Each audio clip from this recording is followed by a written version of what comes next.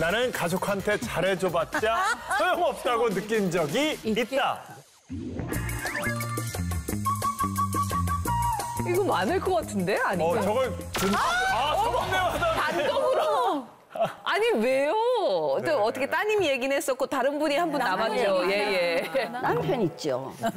남편이 우리가 한국 여행사를 13년을 하고 태국에다 현지 법인을 차려가지고 이제 나는 여기서 세일을 할 테니까 당신은 거기 가서 하라 하는데 오늘 저녁에 친구들하고 포카를 탁 했어요.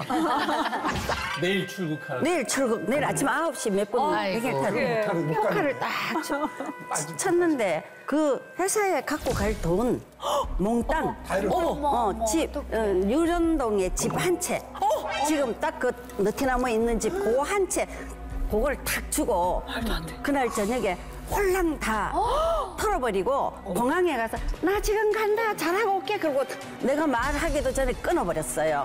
그 누구 누구 있는데 그 문서가 가 있으니까 그 해결하라 그러고 딱 끊었고 가버린 거예요. 어.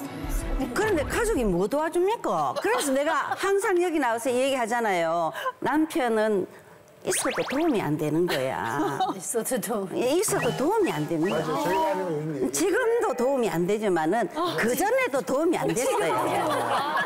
그런데 지멋에 산다고 바지도 있잖아요. 바지 42개를 세탁소 가서 고쳐온 사람 봤어요. 연예인이에요. 42개가 있는 것도 신기한데요? 그 그래 놓고 그저께 또 홈쇼핑에 바지 한 개를 사지 왜 세 개를 샀냐고. 거긴 세 개 팝니다. 바지 세 개, 세 개 사면 죽을 때까지 입어도 된다. 지 뭐, 자기나 나나 10년 이상 살겠어요.